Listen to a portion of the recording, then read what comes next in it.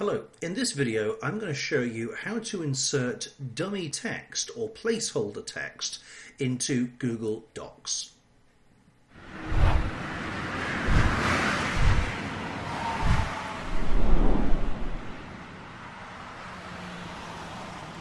Hello.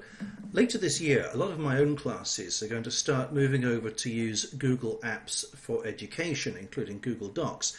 And I know a lot of other teachers and educators are already using the Google Apps for Education suite. So I thought it'd be useful to start a new series of videos covering the Google Apps for Education, in particular Google Docs, Google Sheets, and Google Slides and I'm going to be covering a number of different tools showing uh, how you can do some of the things in Google Docs that those of you like me who have come from the Microsoft Suite background are used to being able to do. So first of all, in this video, I'm going to show you how to insert placeholder text.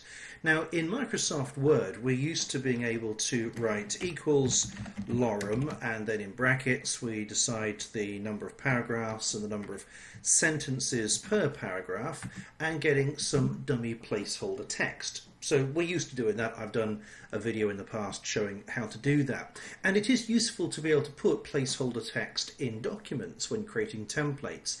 But in the Google uh, Docs uh, browser, you cannot do that. So equals lorem 5, comma 5 just gives you equals lorem 5 comma 5 so how do you do it well the great thing with google docs are the number of add-ons which are available and also how easy it is to get add-ons.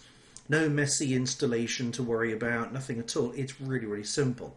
So go to the add-ons menu, click on Get Add-ons, and then when this window uh, loads up, what you need to type in the search box on the right is Lorem Generator.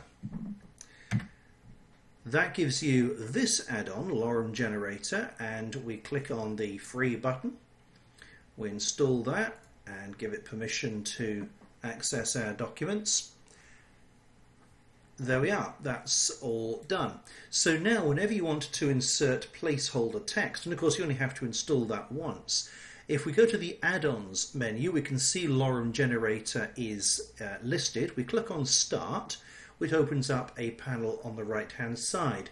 We can now choose how many paragraphs we want. Let's have five paragraphs. We can choose if we want to to start it with lorem ipsum or we don't we can untick that and just have any random dummy text and then click generate. That then generates your text, which we can simply, you can either highlight that and copy it, or you can simply click this insert button, and that will insert that dummy text directly into your document.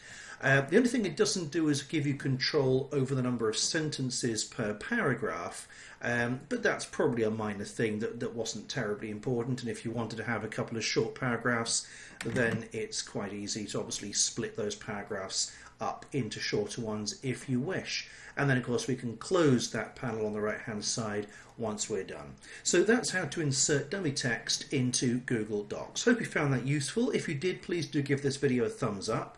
If you're also going to be using Google Apps for education uh, or Google Docs just for your own personal or business use, uh, please do subscribe to this channel because there will be a number of these useful tips coming out over the next few weeks.